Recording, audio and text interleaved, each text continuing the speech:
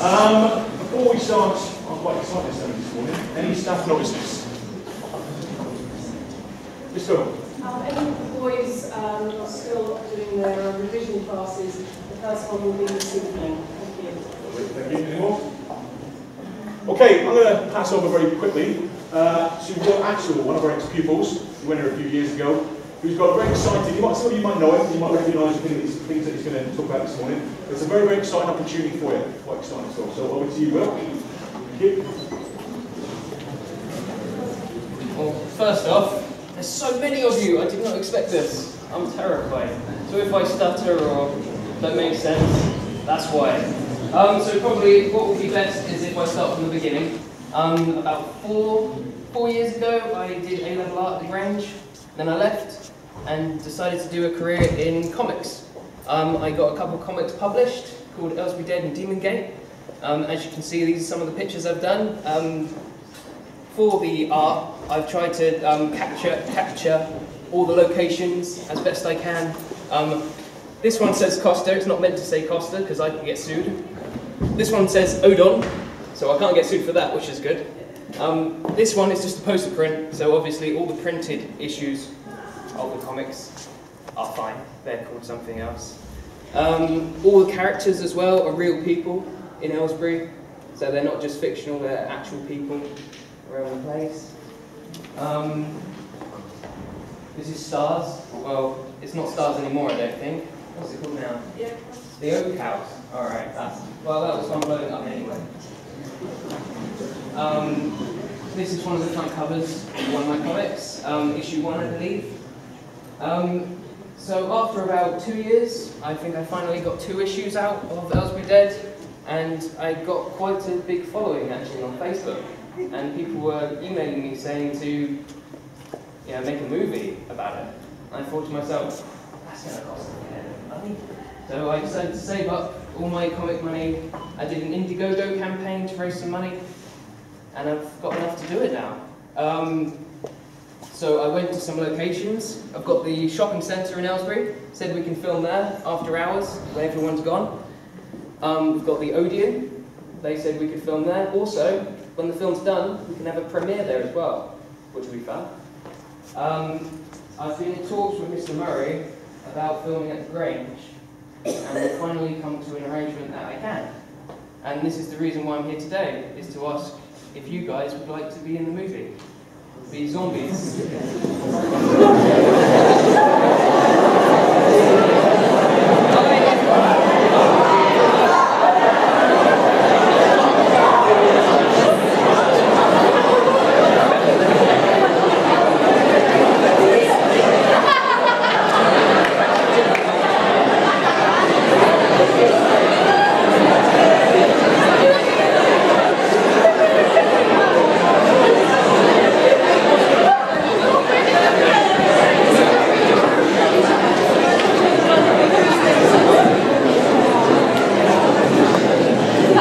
This is one of our good-looking zombies, but obviously not everyone can look this fantastic.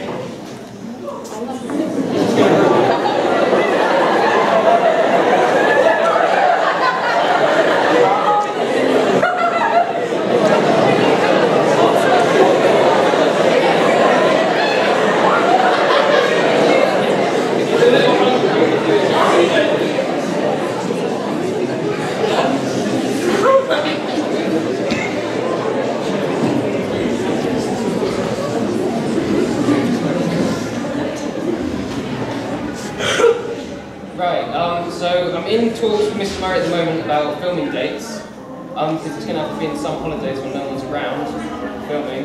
So what I've got is I've got some letters that Mr. Saban is going to hand out at some point. Um, you, can, you can come to my office and get them. Probably best. Yeah, that'd be cool. Um, on there, well, obviously, it's going to be an 18 rated film. So if you're under 18, you're going to need your parents' permission.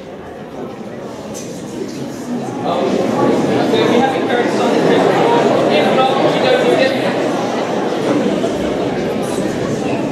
find me on Facebook. It's got my email address, my Facebook, my like page on there. Just contact me on there, and I will hunt you down and see if you guys are all right to be in a zombie film. To be honest.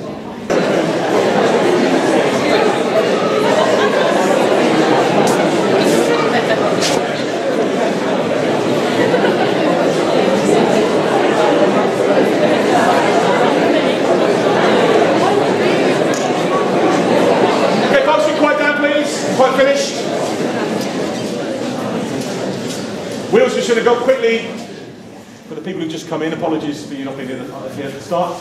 Quick, we're just going to quickly go over again uh, the opportunity, and then, uh, and then any questions, any questions at the end. Cool guys, um, so basically I've done a Aylesbury Dead comic and now I'm doing Aylesbury Dead movie. If anyone would like to be involved in the movie, um, go to Mr. Saban's office and he will have some paperwork for you to fill in. You can find me on Facebook.